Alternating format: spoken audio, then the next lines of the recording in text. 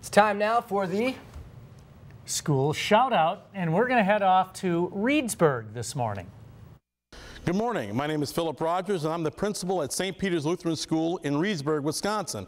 And these are our students and teachers, and we'd like to say,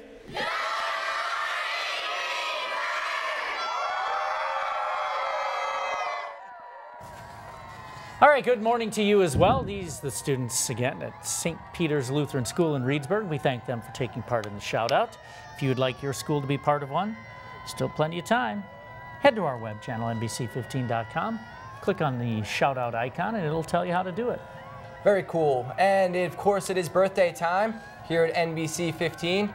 Kalahari Resort in Wisconsin Dells are treating you to a one night stay and two all day passes.